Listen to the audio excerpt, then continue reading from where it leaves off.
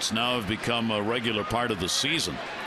Here's the 3 2 with the runner going. Pedroia to third. There's the line drive. And there's the double play. No chance for Victorino get back. He was off and going. No runs, one hit, no errors, nobody left on. Orioles lineup coming up.